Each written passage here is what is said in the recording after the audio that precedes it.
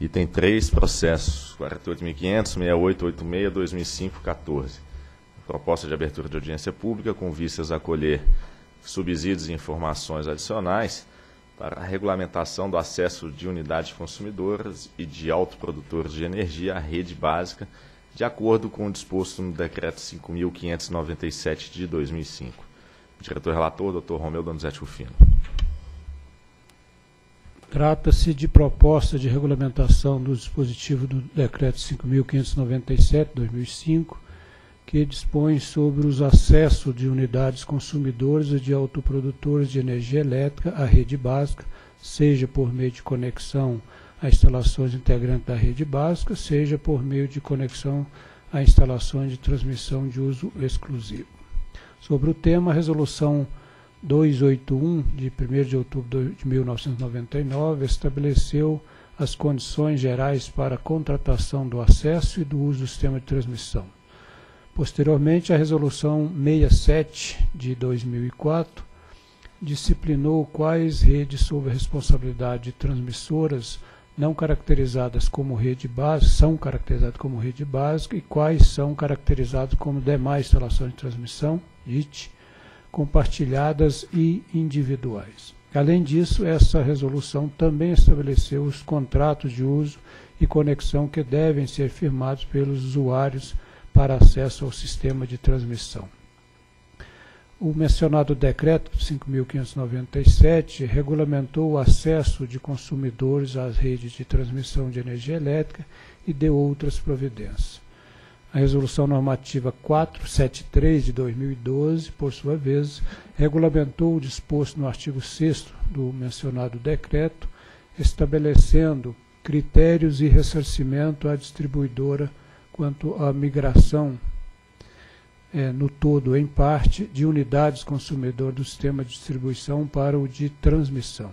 O disposto nessa resolução essa, é, aplica-se também para o caso de acesso à rede básica de unidades de produção e de consumo de autoprodutores. Por meio da nota técnica número 30 de março de 2015, a SRT encaminhou proposta de regulamentação do Decreto 5.597-2005 para ser submetido à audiência pública.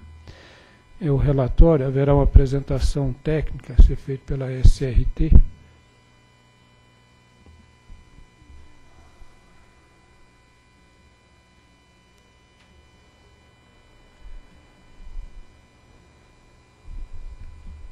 Bom dia a todos. Vou apresentar de forma bem resumida o que dispõe o decreto e o que está na, na, nossa proposta de regulamentação. É, o decreto ele estabelece três, três formas de acesso de consumidor à rede básica, que pode ter as instalações de conexão implantadas pela distribuidora, pelo próprio processante ou pela transmissora. E ele fala também da, da migração do consumidor que já está acessando o sistema de distribuição para a rede básica. Pode ser por melhoria de necessidade, melhoria de qualidade, aumento de carga. Também fala sobre o ressarcimento dos custos da distribuidora, que é o, artigo 6 do decreto, que já foi regulamentado pela resolução 473 de 2012. E o, o decreto também fala do acesso ao sistema de à rede básica por meio de conexão e instalações de, de uso exclusivo de um acessante existente. É, dispõe sobre a transferência da, de parte das instalações em, em tensão igual ao superior a 230 para a rede básica e do ressarcimento dessas instalações. Bem, a aí a resolução ela visa primeiramente detalhar um pouco melhor essa, essa parte de contratação e como é feito o processo de acesso desse consumidor, seja através da da distribuidora é, ou pela transmissora. É a parte de autorização para o consumidor que é feita pela SCT aqui na agência é, assim como autorização de receita para a transmissora, no caso do, do, da transmissora implantar as instalações de conexão. É, a proposta também vai dispor sobre o acesso às instalações de, de uso exclusivo de algo incessante existente, né? as instalações de, que se tornarem de uso comum em tensão acima ou superior a 230, elas vão ser transferidas para a rede básica, é, transferidas para a transmissora e classificadas como rede básica, e vai ser também autorizado uma receita para a transmissora para operação e manutenção dessas instalações. E as instalações que se tornarem de uso comum, mas tensão inferior a 230, elas vão permanecer sob responsabilidade dos próprios acessantes. E a gente vai detalhar também como que vai acontecer, detalhado na proposta também, como que seria esse ressarcimento das instalações transferidas, que vai levar em consideração o valor novo de reposição das instalações, esse valor depreciado e rateado pelo MUST dos, dos acessantes. É, e a gente descont pretende descontar desse valor também o OIM, que o, o OIM e as perdas que vão ser evitadas pelo primeiro acessante. As exceções desse ressarcimento que a gente está propondo são os geradores, que já vão ter o, o, o valor dessas instalações ressarcidos no próprio preço da energia, e quando houver expansão para de transmissão, é, no caso de não haver uma conexão, um, um pedido de acesso da distribuidora propriamente dito, que nesse caso não vai haver um, um acessante, é o próximo sistema de transmissão que está expandindo, é a própria rede básica. É, e por fim, a gente detectou que né, nessa regulamentação que vai existir necessidade de inclusão de um parágrafo na resolução 559, que trata do cálculo da TUST, que é para estabelecer que quando houver essa, esse acesso de um, de um novo acessante por meio de conexão e instalação de uso exclusivo, essa mudança do ponto de conexão não vai ensejar a mudança da TUST. É isso. Obrigado. Obrigado. Procuradoria. Trata-se aqui de proposta de audiência pública para a regulação do Decreto 5597, especialmente os artigos 1 e 5. O fundamento da competência da ANEL está no artigo 3 inciso 19 da Lei 9427, também nos artigos 6 e 7 do Decreto 2655. A matéria precedida de audiência pública por força do artigo 4 parágrafo 3 da Lei 9427. O Procurador examinou a minuta da resolução normativa e entende que a matéria está em condição de ser deliberada pela diretoria. A apresentação já de maneira bem sucinta já resumiu né, o objeto do decreto está sendo regulamentado, mas o voto é bem sucinto, vou passar aqui pelo voto. Então, do acesso à rede base do Sistema Interligado Nacional. É, por meio então do decreto 5.597 foram definidas novas formas de acesso para o consumidor se conectar diretamente à rede básica, que pode se dar por meio de distribuidora, por meio de transmissor ou pela implementação das instalações de conexão pelo próprio consumidor. Outro aspecto é do acesso ao consumidor por meio de distribuidora local. Quando é, unidades consumidoras acessam o sistema de transmissão, as contratações de uso do sistema de conexão observam as propriedades das instalações de conexão. É, quando uma distribuidora implanta a conexão, mesmo em tensão igual ou superior a 230 kV, o consumidor celebra o CUSD, enquanto o, que quando as instalações são implementadas por uma transmissora, o consumidor celebra o CUST. Atualmente existem unidades consumidoras atendidas por distribuidoras em nível de tensão igual ou superior a 230 kV, os quais compõem o subgrupo A1. A quase totalidade acessa a rede básica de forma individual por meio de instalações de conexão que contemplam equipamento distribu eh, da distribuidora. A tarifa do nível de tensão aplicável não contempla investimentos da distribuidora em redes de energia elétrica, uma vez que isso ocorre por meio de encargo de conexão, mas contempla TUST, a TUST daquele ponto de acesso e componentes de custo tarifário conforme descrito no submodo 7.3 do PRORET.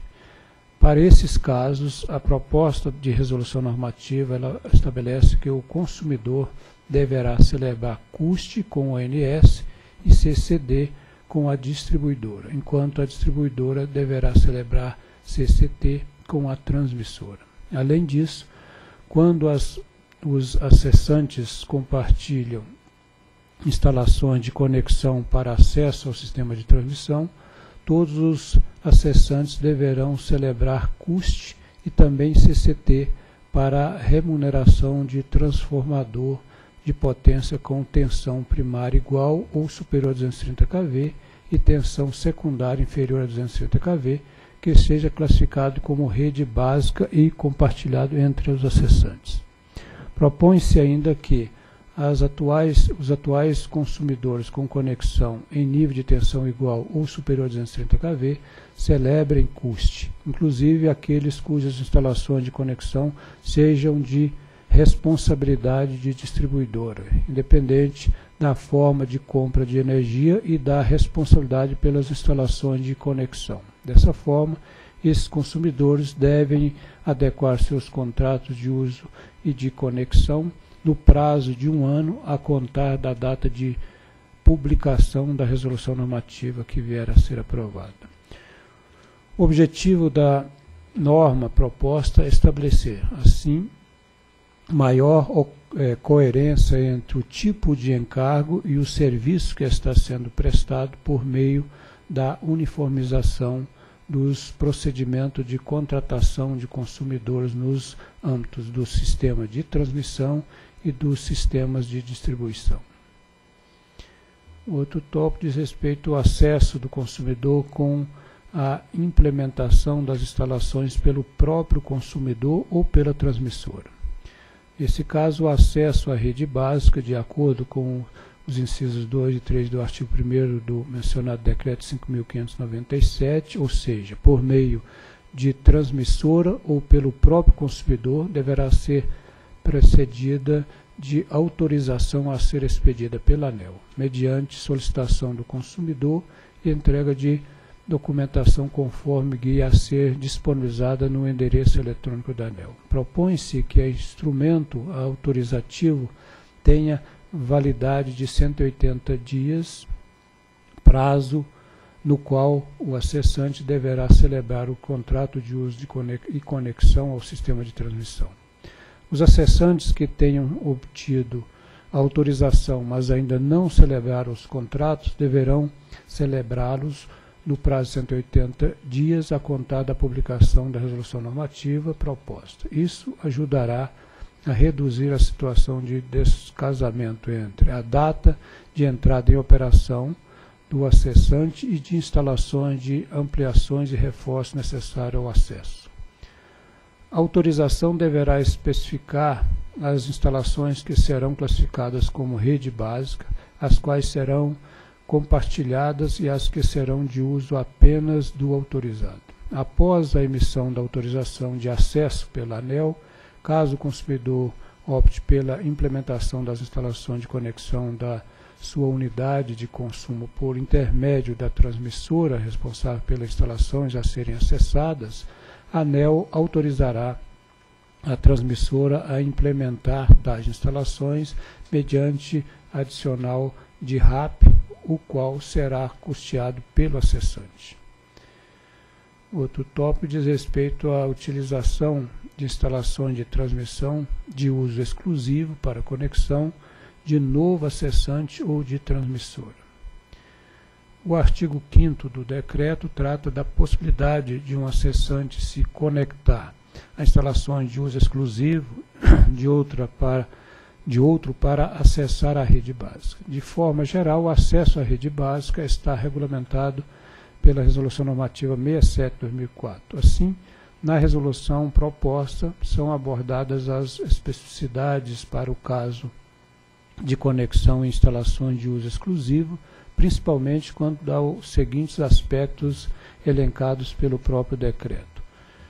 O ressarcimento a que a quem promoveu as suas custas a construção da obra e uso, de uso exclusivo. A incorporação à rede básica da rede de transmissão de uso comum e a remuneração do agente de transmissão que incorporar a rede de transmissão de uso comum. Conforme estabelece o decreto, as instalações de transmissão em tensão de 230 kV ou superior que se tornarem de uso comum deverão ser transferidas às transmissoras a quem se conectam as instalações de uso exclusivo dos acessantes existentes e incorporadas à rede básica. Já as instalações em tensão inferior a 230 kV, que passarem a ser de uso comum a partir da conexão do novo acessante irão permanecer sob responsabilidade dos acessantes e a elas conectados. Ressalta-se que a, a prerrogativa do poder concedente definir, dentre as instalações de transmissão, as de interesse exclusivo de centrais de geração, conforme dispõe o artigo 17 da Lei 9.074/95. Portanto, existem casos de agentes de geração cujas outorga seja via resolução autorizativa, portaria ou contrato de concessão, estabelecem que as instalações de transmissão para acesso à rede básica serão compartilhadas. Essas situações serão preservadas e as instalações de transmissão de uso comum das centrais de geração permanecerão sob responsabilidade dos acessantes caso assim tenha sido estabelecido pelo poder concedente.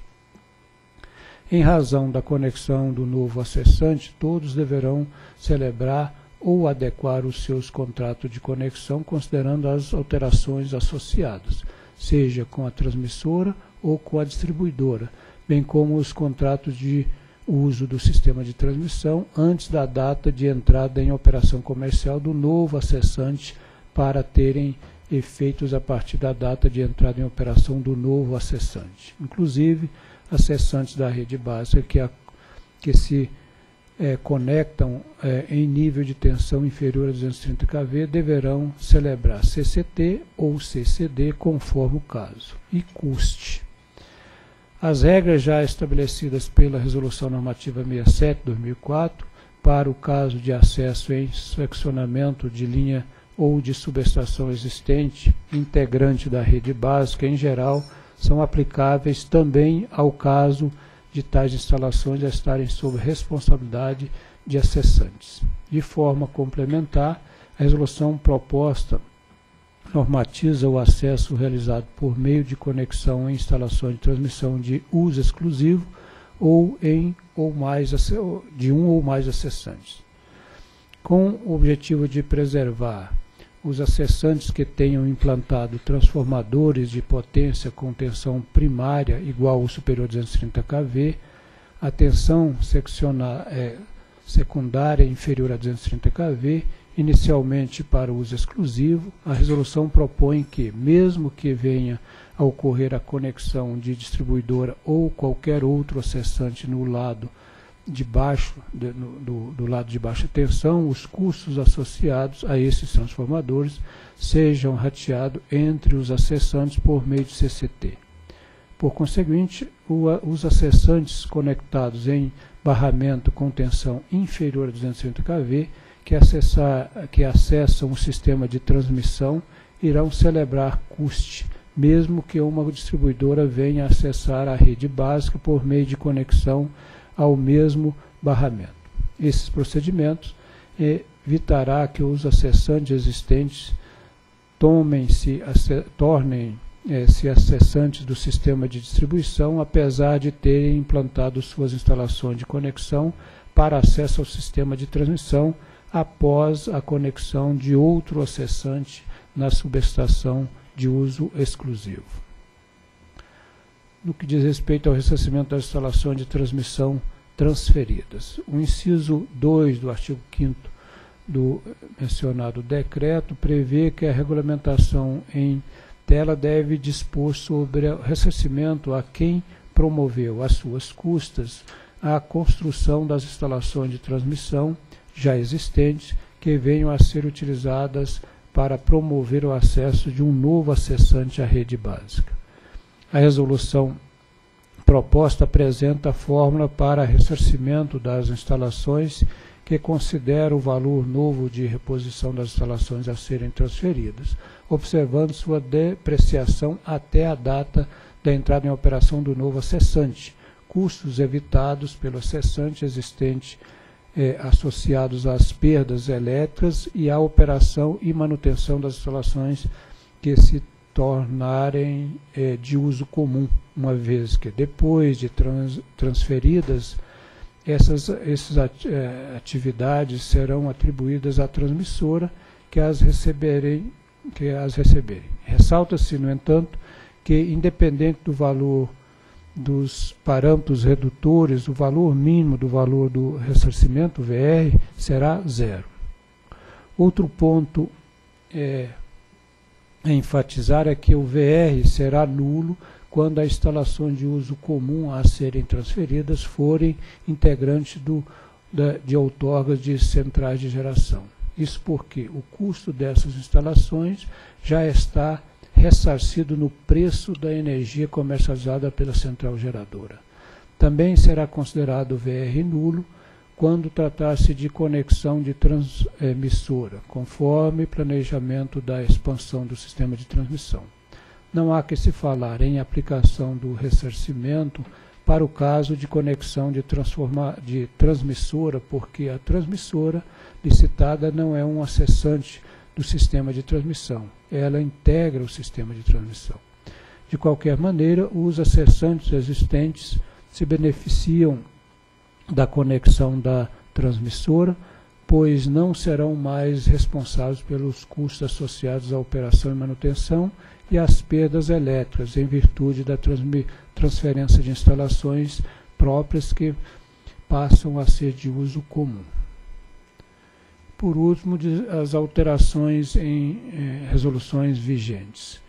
Foi realizado o levantamento para identificação das necessidades possíveis alterações em resoluções vigentes em decorrência da regulamentação do mencionado decreto, ora em análise. Nesse ensejo, verificou-se que a Resolução Normativa 559 de 2013, que estabelece o procedimento para o cálculo da tarifa de uso do sistema de transmissão, deveria ser complementada para adequar-se à proposta da nova resolução. Nesse sentido, propõe-se o acréscimo do, de parágrafo do artigo 7 ao dessa resolução estabelecendo que a alteração do ponto de conexão em função de acesso previsto nesta pro, nessa proposta de resolução não ensejará modificação do TUST de centrais de geração.